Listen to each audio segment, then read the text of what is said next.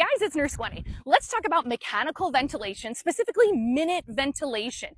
So if you're new to mechanical ventilator use, I'm sure you've heard of things like tidal volume, respiratory rate, setting your PEEP, your FiO2, your inspiratory pressures, things like that. But do you understand what minute ventilation is? You know the old saying, there's more than one way to skin a cat, and there's more than one way to achieve a minute ventilation. Let's say your patient needs eight liters per minute. That's going to be the total amount of air we're moving in and out of the patient over over the entirety of a minute. So let's say this patient needs eight liters, okay?